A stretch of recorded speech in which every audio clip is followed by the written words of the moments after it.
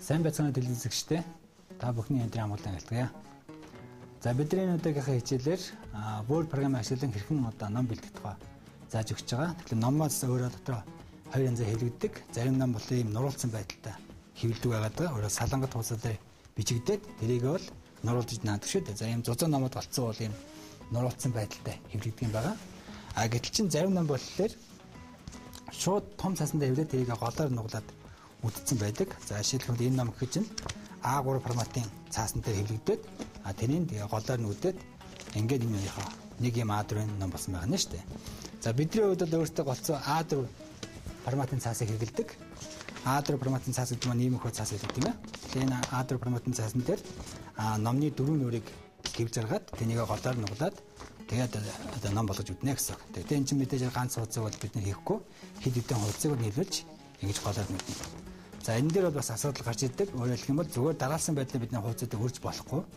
Юу вэ гэхээр чинь аа номны нэгдүгээр хуудас хэвлэж байгаа энэ нүүр нүүр одоо энэ энэ маань өөрөө тухайн одоо номныхаа хөдлөхийн тухайн одоо хуудсуудын хамгийн сүүлийн хуудастай. Энэ тохиолдолд 8 дахь хуудасаа хэвлэгдэнэ. А дотор талын 2 дахь нүүр маань болохоор 7 дахь хэвлэгдэнэ тийм ээ. Тэгээд 1 2 гэж орж ирнэ. А гэтэл салангад өөрний хуудсан дээр 3 дахь хуудас нь а өөрийнхөө ард талбал энэ дээр а одоо 6 дахь хуудсанд хэвлэж чинь тэгээд 3 гэж дараалаад 4 гэж яваад 5 гэж яваад 6 нь гарч дээ тийм ээ 6 гарч чинь 7 гарч. За ийм их байдлаар номнууд маань өөрөө салгаж одоо хэвлэгдэг юм аа. За энэ үдийг бид нэг үрслэн яаж одоо ихэ бэлтэх вэ? Аа тэгээд түүнийг яаж форматлаад хэвлэх команд хамгийн гол нь яаж игэл яг ийм байдалтай гоё аа үтгэд бэлэн байдлаар хэвлэж өгдөг юм бэ гэдгийг нэг үрслэн зааж үзүүлэх болно. За ингээд бүдэрээ хичээлд орцгоё.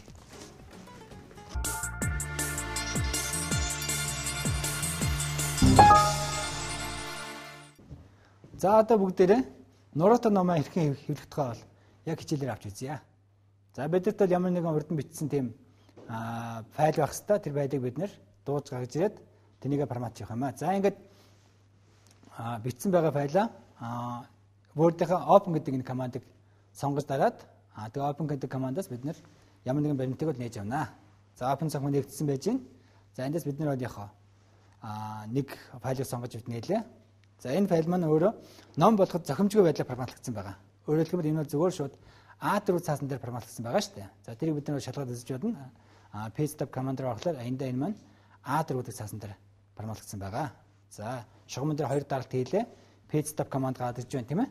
Page stop command гарчсан дээр харахад энэ маань яхаа A4 гэдэг цаасан дээр форматлагдсан байгаа нэ шүү дээ. За энэ бол яг ном болоход зохимжгүй байна гэсэн үг тийм ээ. Тэгэхээр ном гэдэг маань өөрөө бол A4 цаасан дээр хоёр нэрээр ихэвчлэн тийм ээ А5 одоо хэвлэгдсэн юм хоёр нэрээр за тэгээ хуудасны дугаарууд нь одоо зөв дараалт оруулж хийсэн байх хэрэгтэй болно шүү дээ.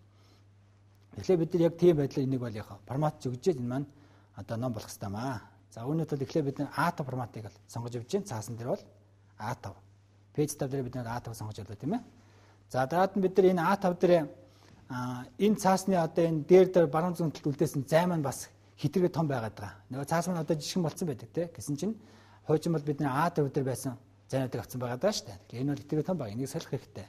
А хамгийн гол зүйл нь болохоор бид нэг А4 цаасан дээр хоёр А5 цаасыг бас хэвлэж байгаа хэрэгтэй тийм. Тэрийг бол бид нар бол зааж өгнө. За тэр програм нь болохоор энэ multiple pages гэдэг ийм сонголт байгаа нэ шүү дээ. Multiple pages гэж. За энэ дээр яг одоо бол нормал байж байна. Нормал гэдэг нь ерөөсөл нэг одоо нэг нэг хуцаар хэмжих зорилгоцсон ийм одоо сонголт байгаа байхгүй юу? Тэгэхээр бид нар энийг өөрчлөх хэрэгтэй байгаа. За энд бол гурван одоо боломж байна mirror merging гэдэг сонголт байгаа даа. За mirror merging авлаа энэ маань болохоор шууд цаасыг бол тийм яг нэг дан дангаар нь тэгтээ ар өргөө хэлэх зорилгосон ийм сонголт байгаа даа. За ар өргөө хэлнэ гэдэг чинь хуудсан сандгаа хуудсууд нь дандаа зүүн талтай зайтай а тэгш хуудсууд нь дандаа баруун гарталтай үдгцэн гардаг шүү дээ тийм ээ. За ингээд ар өргөө хэлсэн тохиол бид нар яг үдэхэд энэ маань яг зөв одоо дараалал үдэгддэг ийм одоо байх нь. За энэ бол зөвхөн салангат хуудсуудыг хэвлэх зорилгосон формат байгаа. За дараагийн сонголт нь болохоор а нэг хуудсыг хоёр одоо яхаа хоёр хуудсыг нэг хуудсанд хэвлэх зорилгосон тийм two pages per sheet гэдэг ийм сонголт байна шүү дээ. За энэ бол бас боломжийн сонголт тийм. Яг л энэ чинь бол шууд одоо хоёр өөр салангат хуудсыг нэг хуудсанд хэвлэж өгдөг ийм сонголт байна шүү дээ. А гэхдээ энэ бол дутагдал байгаа л да. Ямар дутагдал байгаа гэвэл хуудсны дугаарууд нэг дараасан байдлаар хэвлэгдэж явчихдаг. Нэг дээр бас хоёр ууц, дараад нь гурав ууц дээр ууц тийм ээ. Тэгээд 5 6 Гэтэл ном ч бол тийм байж болохгүй шүү дээ. Яг л хуудсуудыг бид нэ давхруулж байгаад ингээд ном байдалд үтгэхэд энэ бол зохимжгүй юм байнамаа. За тэгэхээр бидний яг жинхэнэ одоо хэвлэх хэвээр сонголт нь болохоор энэний дараачийн одоо сонголт буюу book fold гэсэн ийм сонголт байгаа. Book fold. За book fold сонголтыг бол сонгож авъя. Book fold. За book fold сонголт бол яг бидний одоо ном байдлаа хэвлэхээс зориулсан үндсэн сонголт байгаа нэ шүү дээ. Тэгэхээр энэ Office 2003-аас хойш бол яг энэ book fold гэдэг сонголт бол хийгдэг юм болцоотой болсон байгаа даа. За book fold-ыг хийснээр дагаар доотлолт нь бол дахиад нэмэлт сонголтын сонх гарч иж байгаа. Энэ нь болохоор яг нөө нэг хууцаа яаж хувирлах гэдгийг нь зааж өгдөг. Угаасаа А4 нэг цаасан дээр би А5 хэвлэхдээ дөрөв дөрөв хуудас хэвлэнтэй. А нэг талтаа бол би ингээд нэг хоёрыг нэг одоо 8 ч юм уу те. Тэрний ард талд нь болохоор 7 одоо хоёрыг шидэв юм те. Ингэж хэвлэх хэрэгтэй болно шүү дээ. Тэгэхээр тэрүүнтэй холбоотойгоор яг энд бол бид нэр хуудасны сонголтуудыг зааж өгдөг. За энэ бол дөрөв дөрөөр одоо нэмэгдсэн юм тав байгаа. Хамгийн дээд нь бол 40 хүртэл бид нар бол авч болж байгаа. 40 хүртэл авч болж байгаа те. 4-өөс 40 хүртэл. 4 8 12 гих мэтэр нэмэгдэж явсагаад 40 хүртэл те хамгийн дээд нь 40. 40 гэдэг маань би хамгийн дээд нь 10 одоо А4 цацаг хооронд нийлж үүдэх болцоотой гэсэн үг байхгүй те. Ийм байдалтайгаар энэ маань яхаа аа сонгож авдаг юм аа. За ингээд цаасаа сонгож авсаар дараагаар бид нар яг энэ одоо цаасандаа тохирсон дээр дээр зүүн баруун зайнуудыг бол заавал тохируулж өгөх ёстой. Энэ маань. Энэ маань одоо бол А4-д тохируулсан байдалтай байгаа шүү дээ тийм ээ. Хитрхээ том байгаад байгаа. Тэгэхээр бид нар эдрийг зааж ёстой болж байна. За би бол одоо өөрөө хідэн хуудсыг би нэг дээр өдөх вэ гэдгээр нь би ойролцоо багцаадад нэг сонголт хийж байгаа л да тийм ээ. Магадгүй 40 ч юм уу 36 ч юм уу тухайн үед би аль нэгээр хийж болно. Аа тэгээ яг нарийн хэвлэх болтой би яг хуудсаа өөрөө хуваарлт нь харж агаад бас зааж өгсөн байна. За ингээд дээр дээр зүүн баруунтлаа заах та. Яг ном болгоо хэвлэж байгаа тохиол дээд доотлоо нэг 2 см цэм зайтай байвал арай зүгээр байх тийм ээ. Хуудасны дугаар хэвлэгдэн чинь бас өөр одоо яг толгой гарчлал байж болох юм. Тийм учраас тэрийг тооцоод 2 см байж болно. Харин баруун зүүн талтай болоо 1.5-тай 1.5-тай байгаад боломжийн гэж үзэж байна. Тэгээ 1.5-тай 1.5-тай байна гэдэг маань яг голын үдж байгаа зайнтай бол яг 3 см-ийн зай авна гэсэн үг шүү дээ тийм ээ. 3 см-ийн зай авна. За цаас маань өөрөө аяндаа автоматар юм хэвтэй байдалтай болцсон байдаг. За хэвтэй байдалтай болцсон байгаа тохиол яг голын одоо үдэх зайд бол 3 см цэм зай гарч байгаа. Аа тэгээд завхуудаа болохоор 1.5 см тий. Одоо баруун цагтаа 1.5 см-ийн ийм зай авч гэж байгаа маа. За ингээд ийм тохиол бэлэн болцсон тохиол бид нар окей төвчгийг дарах хэрэгтэй. Цаас маань жижигхан болсон учраас А5 цаасан дээр форматлагдсан байдлаар нөгөө материал маань орж ирж байна. За анх энэ бол нэг 9 хуудас материал байсан бол одоо бол энэ маань 40 эд хуудас юм тий хуудасны тоол олон болсон байгаа шүү дээ. 40 эд хуудас болсон байна. А гол нь бол энэ одоо баримтын үед хитрхээ том одоо өсгөн фонт харагдаж байна тийм ээ. Ном болгоо хэвлэхэд бол А5 цаасан дээр хитрхээ том одоо вариашн том юм харагдаж дээ. Тэгэхээр би энийг бол жижигүүлэх хэрэгтэй. Яг номдоо тохируулаад жижиг байх хэрэгтэй болж байна. За мөн зүйлүүдийн хооронд бол зайгүй байна. Э, шууд нийлцэн хэлбэртэй нийлцэн одоо нийлэг нийлээд хэвлэгдсэн байдлаа гэж байна. Тэгэхээр энийг бас бид нэр өөрчилж хэрэгтэй байна. За ийм форматуудыг хийж гэнэ би баримтыг бүхэлдэн сонгож авах хэрэгтэй. Бүхэлдэн сонгож авах хэрэгтэй. За өөрөөр хэлбэл би яхаа контрол А гэдэг давчиг хослыг дарснаар баримтанд бүхэлдээ бүр эхнээс ахвада төгсгөлөөртөө бүгд ингээд сонгогдоод авсан байгаа. За энийг бол бид нэр эдицснээ select all-ыг дарж болно эсвэл гарнаасаа control-ыг дарж болно гэдэг мэддэг болсон. За өсгөн фонтыг бид нэр сонгож авна. Өсгөн фонтын хэмжээ 10 байхад зохимжтой байх гэж бодож байна. Өсгөн фонтыг бид нэр 10-аар тавихад аа баримт нь өөрөө бол яг хуусны тоон гэсэн цөөрөөд ингээд сайхан эмх зэгстэй жижигхэн одоо аятайхан яг ном байдал харагдахад бэлэн болж гэлж штэ. Өсгөн фонт болохоор. За дараад нь бол бид зүйлүүдийн оронд зайгарга гэсэн тийм ээ. Зүйлүүдийн оронд зайгархнууд нөгөө параграф гэдэг командаа сонгож авна. Параграфын командыг сонгож авна.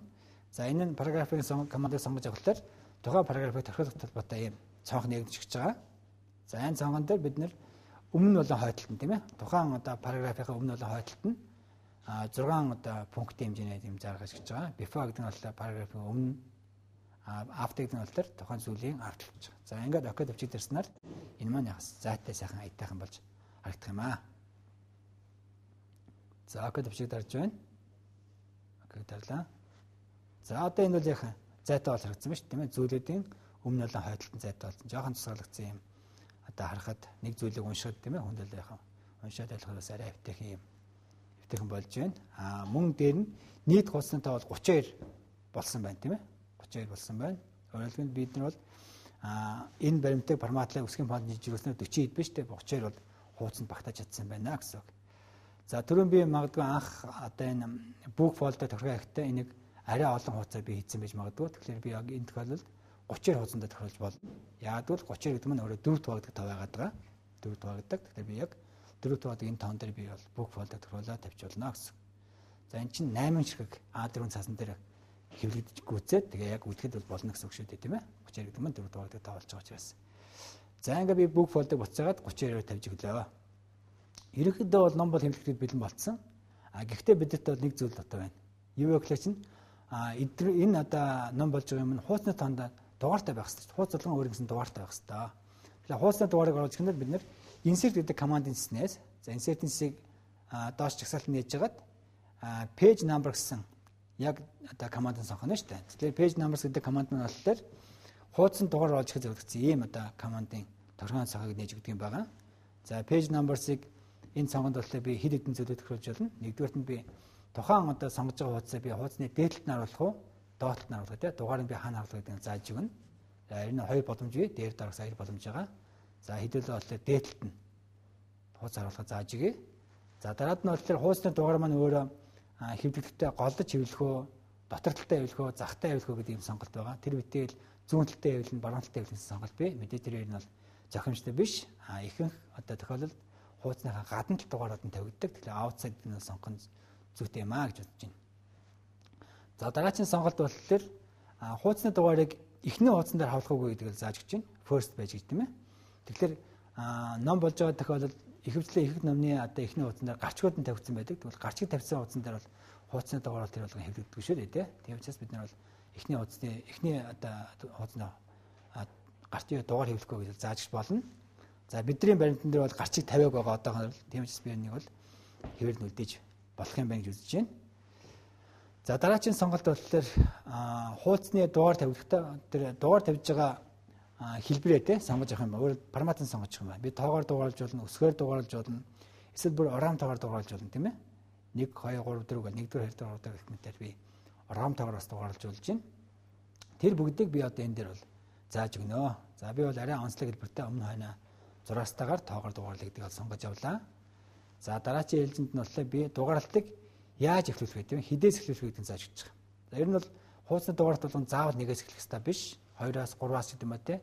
Ямар ч дугаараас эхэлж болно. Тэр үедэл бидний ном нь өөрөө бол бие даасан бүлгүүд болоо хуваагдсан байгаа тохиол бүлэг болгон шинээр нэгээс эхэлдэг тийм дугаартай байж болно шүү дээ. За тэр бүгдийг тохиолж өгөөд окей тавьчих дарснаар хуудасны дугаар маань одоо гарч иж байгаа гэсэн. За ингээ хуудасны дугаар маань өөрөө а сондоо дугаартай хуудсан дээр бол биднийхэр бол зүүн гарталтай текст дугаартай хуудсан дээр баруун гарталтай ч юм уу те ингээд хуваарлагдаж одоо зүүн баруун зүүн баруун гэсэн байдалтай хуваарлагдж гарч иж байгаа.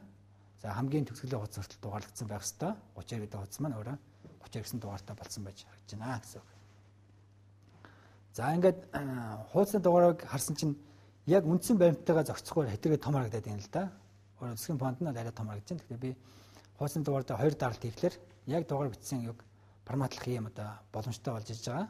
Хоёр дарж орчоод дугаар бичсэн хэсгийг тэмдэглэж яваад өсгийн фонтыг нь 10 гэж тавьчлаар энэ маань бас жижиг өгч штэ. За ингээ би яг хуудасны дугаарыг жижигхэн болгож. За хэдийгээр би 32 дээр хуудсан дээр энэ командыг хийсэн боловч энэ маань яг бүх хуудасны бүгдэнд нь адилхан орсон байгаа. За энэ яг хуудасны хамгийн ихэнд дээд харахад нэг дээр хуудас хүртэл яг юм жижиг одоо фонттой болсон байна гэсэн үг. За би хуудасны ихэн болон төгсгөл тийм хуудас биш баримтны одоо ихэн болон төгсгөл тийм ээ шууд шилжээд байгаа. Энэ бол маш амархан шилждэг. Би гарын дээрээсээ контрол тавьчих йент гэдэг тавьчтай зүг те гарын дээр байдаг йент гэдэг тавьчтай зүг дарах юм бол баримтын хамгийн суулд очиод байгаа. А контролыг хөөмтэй дарах юм бол курсор хаанч илсэн баримтын хамгийн ихэнд. Ерөөсөө бүр шууд бүр ихэнд нь хурж иж байгаа шүү дээ. Иймэрхүү байдлаа би тухайн баримтны хамгийн ихэн болон төгсгөлд нь очих болцоод болж байна. За баримтын ерөнхийдөө хэвлэгдэх бэлэн боллоо. Яг ном байдалтай хэвлэгнээр бид нэр хэвлэг команд руу орно. За хэвлэг командыг бас Ctrl P гэдэг тавчийг ашиглан дарж болдог. Заавал бид нэр Startsense юунаас файлцаас нэг албагүй. За тэгээд принтерийн цонхыг гаргасны дараагаар хэвлэл командын цонхыг гаргасны дараагаар бид нэр хэвлэхэд зориулагдсан одоо өөрийнхөө хүссэн тэгээд принтер сонгож байгаа мэдээжэр.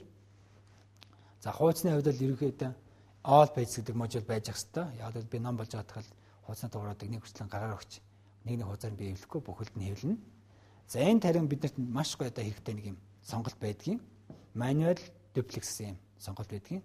Тэгэхээр энэ бол одоо юу гэсэн үг гэхлээр чинь би хэрвээ энэ manual duplex-ийг хэвлэхгүйгээр хэвлэх юм бол тийм ээ. А А4-ийн цаасан дээр 2 2 хуудас хэвлэгдэн шүү дээ. Эхлээд магадгүй яхаа би одоо нэг 30 хуудасаар би ингээд форматлсан байгаа юм чинь нэг дээр хуудас маань 32 хуудастай хэвлэгдэнэ. дараачийн утсан дээр нь болохоор 31 дэх утсыг 2 таа хэвлэнэ гэсэн үг тийм. Тэрний дараачийн дээр болохоор 3 дахь утсыг 30 таа цогцолно гэл. Ингээд салангат салангат дээр хэвлэгчдэг. А гэтэл чинь би manual reflex-ийг хэрэглэсэн тохиолдолд энийг хэрэглэсэн тохиолдолд эхлээд зөвхөн нэгийг 32 таа, 3-ыг 30 таа гэх мэт те а дандаа нэгдэлт нь хэвлэх бүх үйлдэлд хийгээд ингээд явчихна. За тэгээ яг цаасны гол хүртэл одоо номныхаа тэгээ голын ус хүртэл явж дуусчаад тийм ээ энэ маань зогсож байгаа хэвлэх команд маань өөр аяндаа зогсож байна. Өөр аяндаа зогсоод би бүх нэгдэлтний хэвлэсэн цаасуудыг гаргаж авч жагаад тэрийг бүгдийг эргүүлж хийх болцоо та. Ийм одоо хүлээх хугацаа надад гарч ирж байгаа байхгүй. Тэглээ чи эн чинь ингэх хэвэл да нөгөө гарсан цаасны маань дараа талаас өртөгдсөн байгаа даа. Би ингээд шууд бүтэн бүтэн наваа хийчих юм бол хамгийн сүүл хэвлэгдсэн ууч чинь хамгийн их хэвлэгдэж шүү дээ. Гэтэл чинь би нэг 30-ийн арталт нь бол тэр юу хэвлэх хэрэгтэй те 31-ийг 2 таас хэвлэх хэрэгтэй. А машин маань бол яг тийм дараад хэвлэх гэдэг. А би бүхэлд нь аваад эргүүлчих юм бол энэ маань яг а бүр хамгийн сүүл хэвлэсэн ууцныхаа арталт нь хамгийн ихнээ хэвлэх хугацаа гарах гэдэг. Тийм учраас би энийг яах вэ гэхлээр чинь хууцаа эргүүлсээс гадна эргүүлснээ дараа би түүнийг бол яг бас өөрөө ингээд дараалан жоо өөрчлөсөн байгаа. За ийм үйлдэлүүдийг хийд тусаа би хэвлэх командыг өгөхлөөр энэ маань яг зүгээр сайхан хэвлэгдэнэ. Яг ном болоо гадарна гэсэн тийм. За хамгийн сүүлд нь би энэ файлаа бол хааж байна. За яг файлыг хаах үед тийм нэг би хэвлээд дууснаар би файлыг хаах үед зөндөө олон формат хэрэглэсэн байгаа учраас нөгөө файл маань өөр аяндаа одоо тухайн форматуудыг санах уу гэд надад асууж байгаа. Би yes тавчид дарснаар энэ баримтыг бол хадгалаад хаах үйлдэл хийж байгаамаа. А нэгэнт баримтан дээр нилээдийн үйлдэл хийсэн байгаа тэгвэл зүгээр шууд хааж болохгүй байна шүү дээ. Хаах үед өөр аяндаа асуудаг юм байна. Та энэ хамгийн сүүлд хийсэн өөрчлөлт өөрчлөлтүүдээ хадгалж үлдээх үү гэж асууж байна. Тэгэхээр би yes тарах юм бол хадгалж авна. Энэ өдрөх юм бол энэ баримтал яг анхны байдлаар үлдэнэ гэсэн үг. За үүгээр бидний энэ удаагийн хичээл маань өндөрлж байна. Та бүхэн энэ хичээлийг үзснээр өөрсдийнхөө бэлдсэн материалаар жижиг хэмжээний боршуур одоо хэвлэж авах ийм одоо болцоотой болсон байгаа. За дараагийн хичээлээр дахин уулзгалтлаа баяр таа.